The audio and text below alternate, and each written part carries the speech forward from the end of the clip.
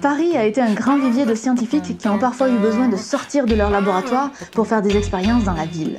Je vous propose alors de m'accompagner pour retrouver la trace de quatre d'entre elles. Cette vidéo est la dernière d'une série de trois vidéos sur Paris dont vous pouvez retrouver les liens dans la description.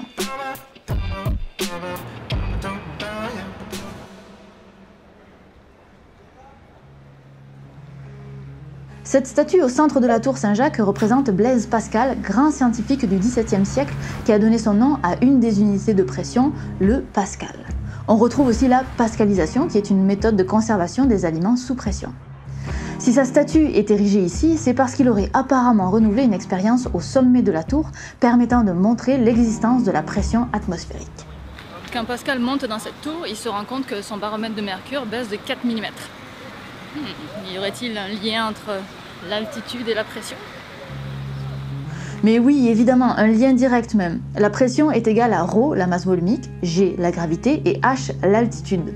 Sur nos épaules, nous supportons une colonne d'air, et si on monte en altitude, cette colonne d'air est diminuée, et donc moins lourde à porter, même si on ne le ressent pas forcément. Dans le cas d'une colonne de mercure, c'est la même chose. En bas de la tour, la colonne d'air appuie sur le mercure et le fait atteindre une certaine hauteur. Mais en haut de la tour, la colonne d'air étant moins grande, l'air appuie moins fort et le mercure descend. Pascal avance aussi qu'il serait théoriquement possible de retirer tout air d'un contenant et ainsi de créer du vide, ce qui déplaît beaucoup beaucoup beaucoup aux ecclésiastiques et scientifiques de l'époque, persuadés que la nature a horreur du vide. J'avais d'ailleurs fait une vidéo sur des oiseaux qui explosent dans des bocaux sous vide à mes débuts.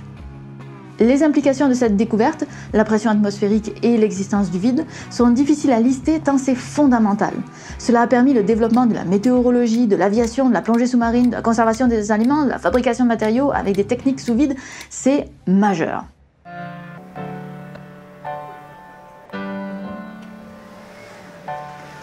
Léon Foucault a développé une expérience qui permet littéralement de voir la Terre tourner. On savait déjà que la Terre tourne sur elle-même grâce aux observations du mouvement des étoiles. Mais pour le commun des mortels, ces preuves ne sont pas palpables. L'expérience de Foucault est alors une démonstration scientifique populaire.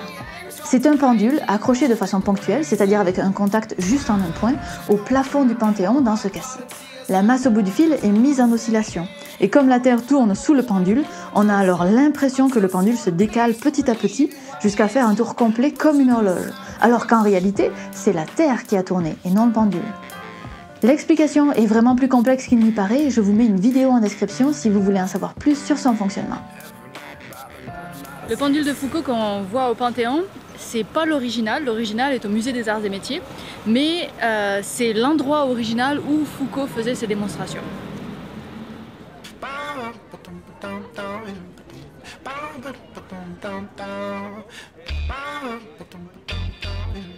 Si vous avez un chat, vous l'avez certainement déjà vu faire ça. La meilleure explication qu'Internet a trouvée pour justifier ce comportement est de supposer que le chat fait des expériences scientifiques sur la gravité. De mon côté, je ne m'aventurerai pas à prêter des intentions à un chat, mais en un sens, Gustave Eiffel, le constructeur de la tour Eiffel, faisait pareil. Mais lui, on connaissait ses intentions. Au début des années 1900, il jetait des objets lourds depuis le second étage de la tour Eiffel. Il n'était pas devenu fou, il s'était découvert une passion pour la recherche en aéronautique. Il essayait de déterminer la traînée d'objets de différentes formes. La traînée correspond à la résistance de l'air à être traversé par un objet. Eiffel essayait alors de quantifier quelle forme permettait de traverser l'air avec le moins de résistance possible. Il jetait alors ces différentes formes à 115 mètres de hauteur et les arrêtait à 20 mètres du sol grâce à un frein, contrairement au chat qui laisse les objets s'écraser. À l'intérieur des objets se trouvait un système de ressorts qui se comprimait, mesurant alors l'intensité de la résistance de l'air. Plus tard, il se construira une soufflerie, d'abord au pied de la tour Eiffel, puis rue Boileau, pour continuer ses travaux. Ainsi, il pouvait prouver avec des chiffres pourquoi la forme concave d'un parachute ralentit un mouvement quand un nez pointu comme celui du Concorde permet d'aller le plus vite possible.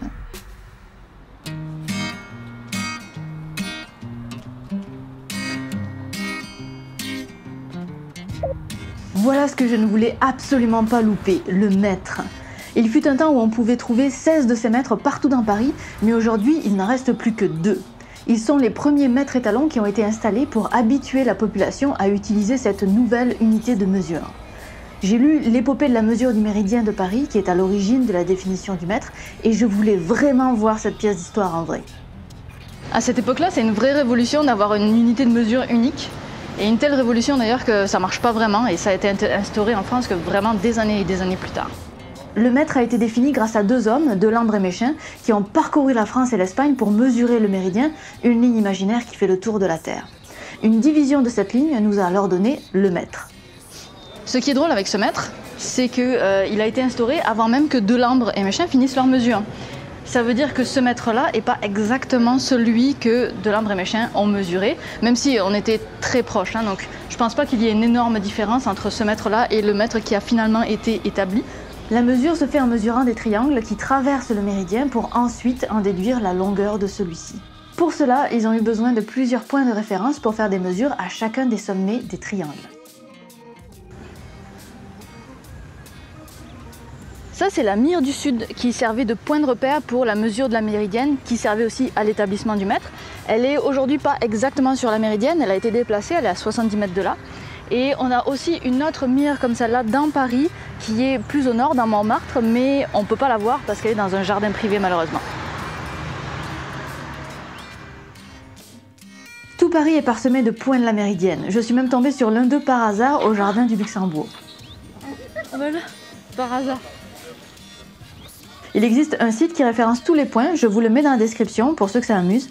Et si jamais vous allez à la découverte de l'un d'eux, tweetez-moi vos photos. J'espère que vous en savez un peu plus sur euh, l'histoire de ces quatre découvertes ou inventions. Et euh, même si j'ai titré cette vidéo autour des scientifiques, des personnes, je pense que si ces quatre hommes n'avaient pas fait ces découvertes, d'autres personnes s'en seraient chargées et le monde tel qu'on le connaît aujourd'hui ne serait sans doute pas si différent. Mais j'aimerais bien avoir votre avis, alors dites-moi dans les commentaires ce que vous en pensez. Cette vidéo est la dernière d'une série de trois vidéos sur Paris. Vous aurez le making-of de toute cette série très bientôt. 99% de tout ce que j'ai raconté vient de euh, ce bouquin que j'ai trouvé quand j'ai euh, commencé à préparer ces vidéos et euh, je ne vous ai pas parlé de la moitié de ce qui se trouve là-dedans. Donc allez le lire si vous voulez en savoir plus. Tous les lieux que vous avez vus, vous pouvez les retrouver sur la carte collaborative à laquelle vous pouvez participer en ajoutant tous les lieux scientifiques que vous, vous croisez tous les jours ou en vacances n'importe où dans le monde d'ailleurs, pas seulement dans Paris. Et quand vous, moi, n'importe qui, on part en vacances, on pourra ouvrir cette carte et faire un autre type de tourisme. Tant que vous êtes là, je vous conseille aussi la vidéo de Manon sur Paris, vous apprendrez plein d'autres trucs sur la ville. Et si c'est votre première fois ici, je vous invite à vous abonner et à activer les notifications, ainsi vous serez prévenu de toutes les futures vidéos. Bye